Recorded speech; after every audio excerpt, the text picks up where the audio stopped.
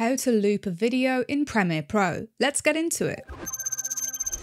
Press Option or Alt on your keyboard, click and drag your clip to create a duplicate. Next, move your playhead to about 3 seconds in from your first clip. Next, click and drag this second clip above your first clip like so. With the second clip selected, come up to opacity and bring this all the way down to zero and make a keyframe. Then move your playhead to just before the end of the first clip and then bring this up to 100%. Next, move your playhead to about 3 seconds in from the beginning of the first clip. Make a cut and then drag this cut clip to the end of the second clip like so.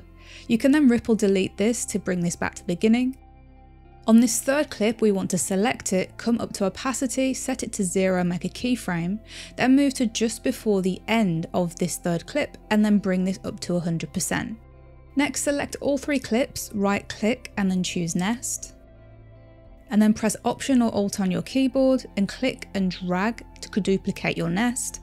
And by doing this, you will have created a seamless looped video if you want to make this a long video, all you need to do is simply keep duplicating the nest that we have created. You can then re-nest your duplicates to make this a quicker process for yourself and then reduplicate your nests again. And that's all there is to it.